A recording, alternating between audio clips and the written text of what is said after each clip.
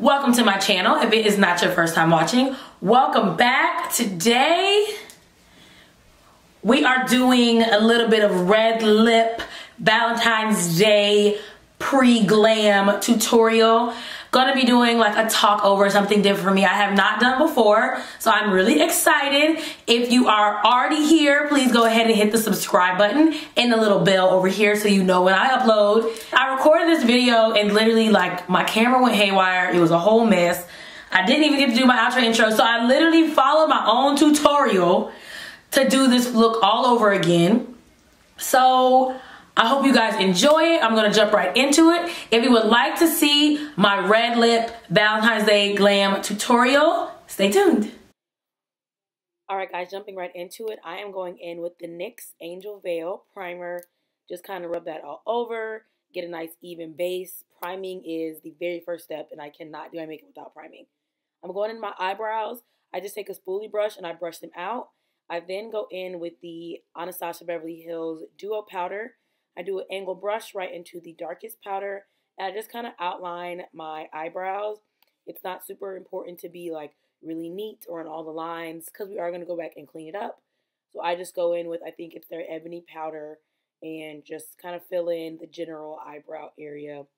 This definitely changes. Sometimes I use gel, sometimes I use a pencil, kind of what I'm feeling today, that week. And this week I was feeling using the powder. This is a really good powder. I've used some other ones that didn't do what I needed them to do. So I just kind of stick with ABH, even though I know their price point's a little bit higher. Stretching because I'm clearly really about to get beat. With that same spoolie, I go and just brush out that product to take out any harshness. We don't want like super crazy harsh eyebrows. So I just brush them to try to get a little bit more of like the natural effect.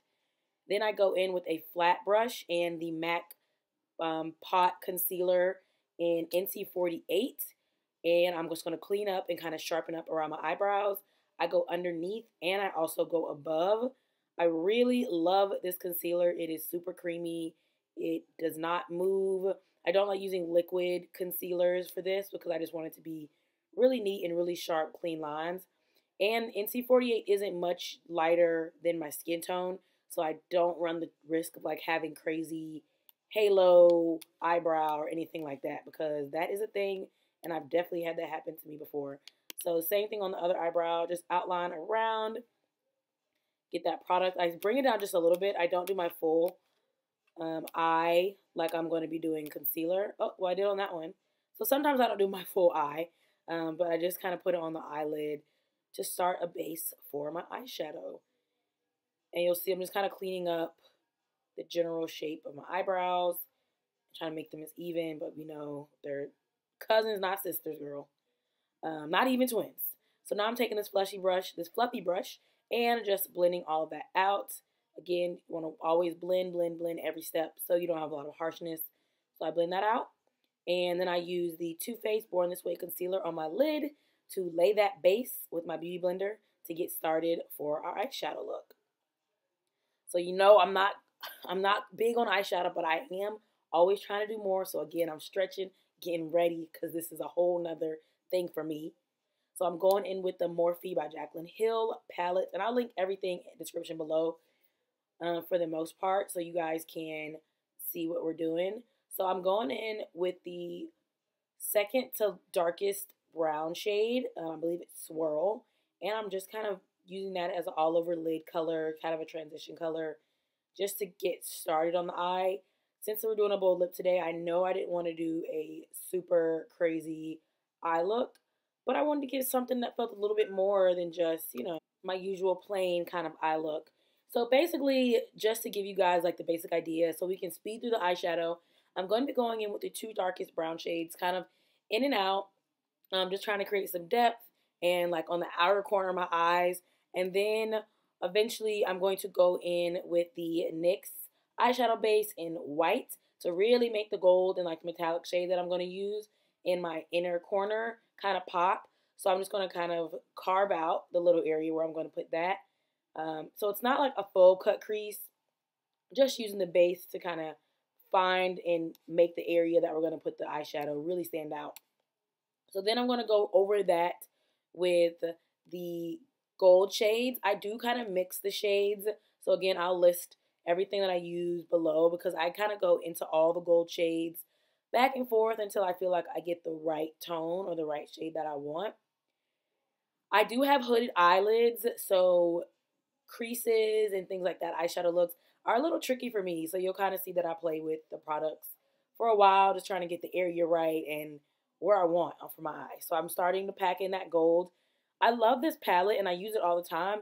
I did find that this gold wasn't like as pigmented as I really wanted it to be, but I just kept packing that in, packing that in. And then I'm going to go in once I finish packing that gold into the other eye. I just want to make sure I blend it so it's not a super harsh line. I didn't mind this being like a defined kind of gold area, but I did want to blend it a little bit more. So I'm just going to let us speed through the eyeshadow and we'll kind of see what the final eyeshadow look comes up with and we'll go from there. Okay guys, so I'm going in now with my NYC Mega Liner. This is a super pigmented, really slick, smooth liquid eyeliner. I'm really just putting it on like just for a little bit of eyeliner effect because I'm going to be putting on a super duper dramatic lash. Um, so the liner isn't really my biggest concern. So here are the lashes. I did them off camera. I'm going. I have to play with them for a little while because they are a big lash, and I'll tag the company. I think this is a 25 mm lash, I believe, 25 millimeters.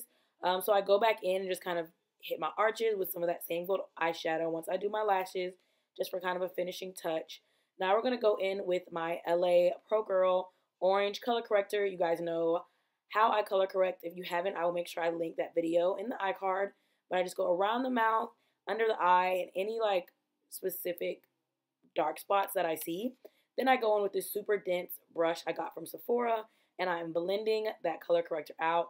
Again, this is just to even out those tones before I put those other colors, and just so everything can be super smooth and flawless and natural as far as complexion. Now I'm going in with my foundation right now, which is the Lancome Teint Idole. And I'm just going to dot that all over. And then we're going to buff it out. I think I did two or three pumps for this look, probably three, because I do like a nice coverage with this.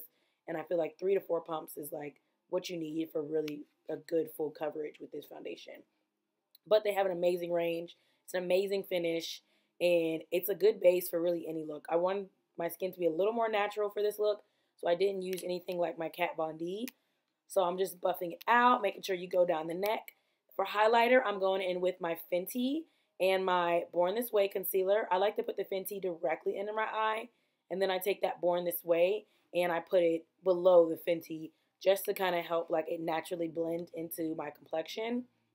Because the Too Faced is a little bit darker, but that Fenty really pops. So I'm going to take the Too Faced on my chin, my forehead, to highlight those areas as well.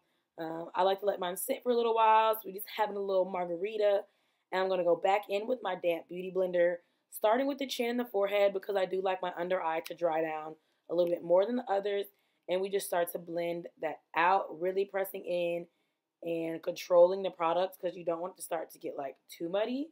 So I just like to try to control and keep it tight under my eye when I highlight with these two products.